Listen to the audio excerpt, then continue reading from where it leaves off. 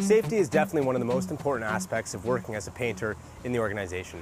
We're going to be doing a lot of interior and a lot of exterior work that involves using ladders, involves working at heights, so we want to make sure that we have the appropriate safety equipment so that you're having a safe summer. A key aspect of that is using a fall protection system at various heights. WSIB and CSST regulations, the worker safety boards in various provinces or in Ontario and Quebec, would indicate that anybody doing painting work above uh, or ladder work above 10 feet should definitely be wearing a harness. So that means when we're doing higher up chimneys or dormers or some high up windows and soffits, we definitely want to make sure that we're using the fall protection system uh, to be working safely on the job site. So this fall protection system, harness and anchor and rope, uh, has five main components to it. Firstly, we have our harness. This is what goes around you and connects you to the fall protection system. We have our rope. We have our lanyard with shock absorber. We have a rope grab, and we have an anchor, and of course some nails or some screws to screw in or nail in the anchor. Let's start first with the harness. So to put on a harness properly, you're going to want to find the D-ring, which is the metal-like ring on the back, and take the yellow straps here, the orange straps here, and hold it up like that. That should illuminate to you your foot straps there, or your leg straps. So we're going to put this down, sort of walk into the harness.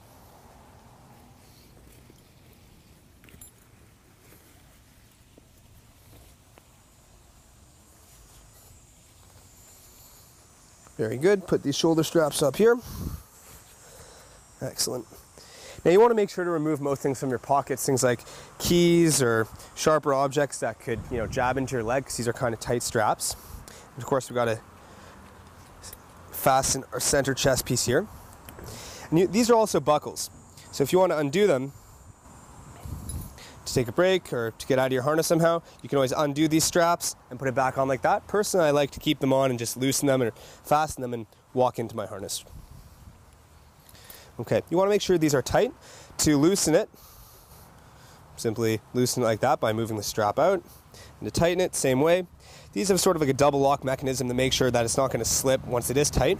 But as a third safety measure as well, you have two bands here that you're going to want to bring tight to that buckle to ensure that it's not going to be moving around very much. Same thing here, you have your chest piece. This can be tighter or looser. And then you have your shoulder strap uh, buckles here. To tighten this one up a bit.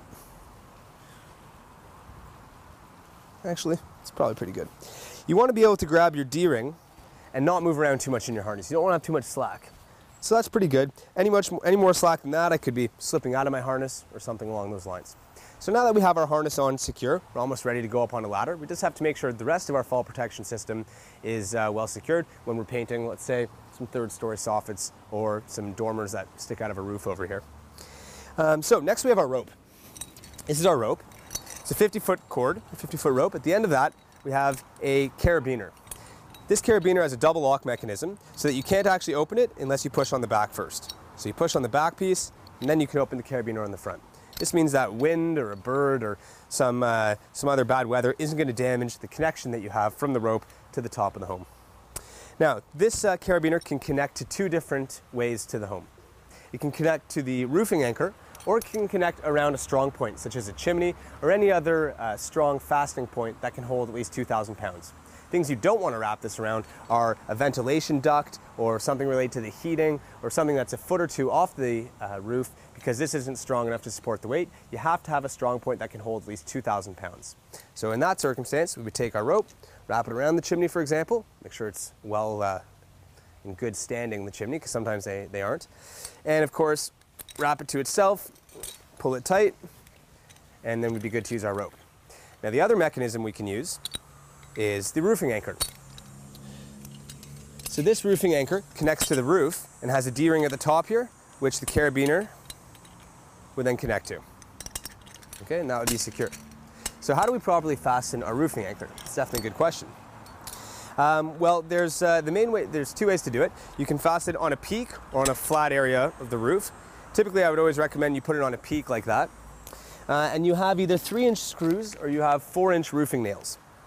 Uh, and what you're going to do is go across the peak, or when I say you, one is going to do this. Typically, your production coach, franchise manager, or general manager will be responsible for setting up your more technical harness placements, especially when you're starting off as a painter in the organization. So don't worry if a lot of this seems uh, a little bit technical. As you gain experience, if you decide that you want to be someone who's going to be setting up some of this harness equipment, you can always uh, take proper training courses and learn to do that as well with us.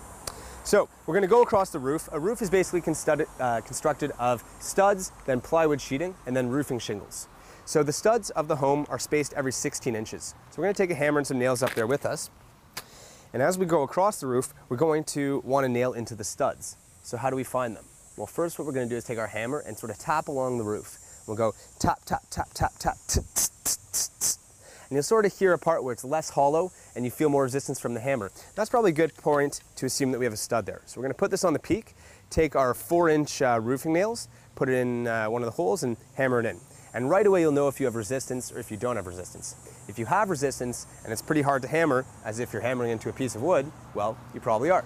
This means that you're nailing into a stud and you can feel free to put four bolts on each side. You always want to make sure to fasten it with four nails on each side so that this can support the appropriate amount of weight. Um, if you nail in and it goes in pretty easily, this might mean you're nailing in simply to tar or just to the plywood sheeting, but not actually to a stud. This is not strong enough. So you're going to take the nail out and you're going to fill that with roofing tar, uh, the hole that is. Move it over, tap, tap, tap, try again to find your stud. At the very end of the project, when we remove this with the uh, hammer, we're then going to take roofing tar, and it comes in a tube, you know, in a caulking gun, just but it's uh, black roofing tar, and you just fill all the holes, you make sure they're sealed, and now we're good to ensure that the roof is fastened, it's secure, and they're not gonna have any leaks coming in there. So this is one way. Take your carabiner, clip it in there, and you're good to go. Now, for the purpose of this demonstration, why don't I assume that this uh, here is a chimney, or it's a very strong point that I can set up my harness around, or my anchor. Okay. Good. So now how do we connect us, the harness, to the actual rope itself? Well, what we do is we first use a rope grab. This is what's going to connect the lanyard to the rope. Rope grab is probably one of the most important aspects of the harness. It's always important to be checking it and ensuring that the bolt is tight and that the latch is closed. So to put it onto the rope, I open the latch, I unscrew the bolt, and I see a little arrow here that says up in many different languages to ensure there's no confusion. So up towards my anchor point means alive. If this were to be installed down, down would mean dead, right? There'd be no resistance when we were to fall. So we'll make sure it's gonna be up. So here's my anchor point. I install it with the arrow facing up. Make sure to tighten the bolt and close the latch. Now if I were to fall, resistance. If I need to move around, okay, I put my thumb through here, squeeze it, push this loop up, and I can move around because the teeth are no longer biting the rope when I move that up. But if I were to fall this way, the teeth of the rope grab dig right into it and it's not gonna let you fall.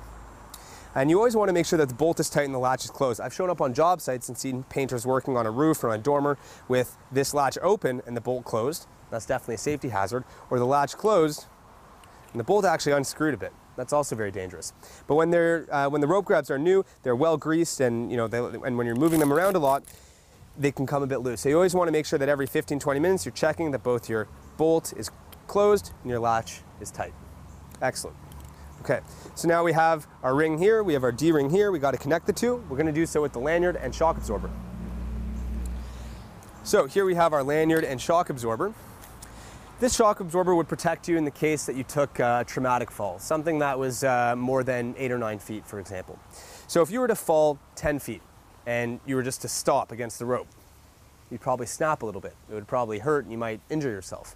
What a uh, shock absorber does here is release you in the case of a fall like that. So an 120 person falling uh, nine feet is equivalent to about 900 pounds of pressure, something close to that, or pounds of weight.